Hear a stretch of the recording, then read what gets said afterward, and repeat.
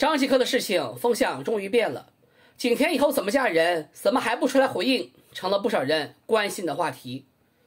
问他以后怎么嫁人的朋友，能不能想想，人家只是正经的谈了场恋爱，从哪个角度来看，他都理直气壮的，更何况人家大明星还有钱有颜的。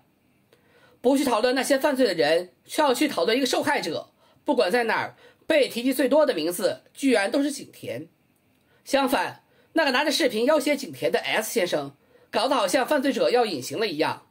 时至今日，大家都不知道这个 S 先生是谁，和张继科究竟是怎么达成交易的。景甜她一直都是美丽的人间富贵花，经过这件事后，很多人更喜欢她了。她面对威胁没有妥协，她教会了女性遇到类似的问题要勇敢的报警。我们可以大声说，错的不是你。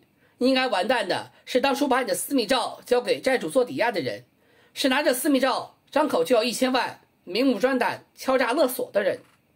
而且景甜还需要靠嫁人来实现自己价值的吗？人的起点已经是很多人一辈子都达不到的高度了。网络上的很多文章其实让人看的心里不适，不知道那些同情她以后怎么嫁人的网友究竟是什么心理，一边打着女权的帽子。一边从心底认为女人是男人的附属品，也是让人看笑了。我觉得景甜选择报警把勒索犯抓住了，就是她坚强和智慧的体现。很多人虽然通篇句句心疼景甜，但也句句让人用世俗的视角去看待她。也不知道这些人自己遇到类似的事情，会希望别人问他以后怎么嫁人吗？